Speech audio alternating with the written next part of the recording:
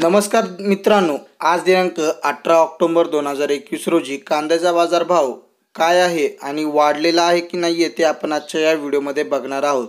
तर कोणत्या बाजार समितीमध्ये कांद्याला चार हजार पाचशे रुपये म्हणजेच पंचेचाळीस रुपये प्रति किलोने दर देण्यात आलेला आहे ते नक्कीच पाहाच व्हिडिओ आवडल्यास लाईक करा. चला तर आजच्या व्हिडिओला सुरू करूया मित्रांनो. मित्रांनो बाजार समिती मोर्शी येथे कांद्याला प्रति क्विंटल कमीत कमी दर हा नऊशे साठ रुपये प्रति क्विंटलला आहे. तर जास्तीत जास्त दर हा मित्रांनो चार हजार दोनशे रुपये प्रति क्विंटलला तर सर्वसाधारण दर हा दोन हजार रुपये प्रति क्विंटलला मोर्शी या बाजार समितीमध्ये देण्यात आलेला आहे.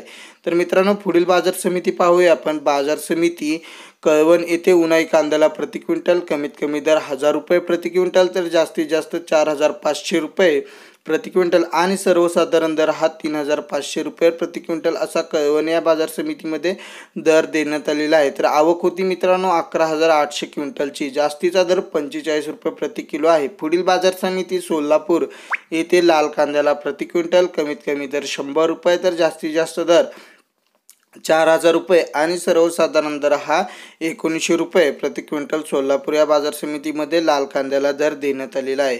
तर आवक होती आठ हजार आठशे एकोणसाठ क्विंटलची. पुढील बाजार समिती पहा. बाजार समिती पिंपळगाव बसवत येथे उन्हाळी कांद्याला प्रति क्विंटल कमीत कमी दर आठशे एक रुपये प्रति क्विंटल तर जास्तीत जास्त चार हजार दोनशे रुपये प्रति क्विंटल म्हणजेच बेचाळीस रुपये प्रति किलोला सर्वसाधारण दर तीन हजार चारशे एक्कावन्न रुपये प्रति क्विंटलला देण्यात आलेला आहे.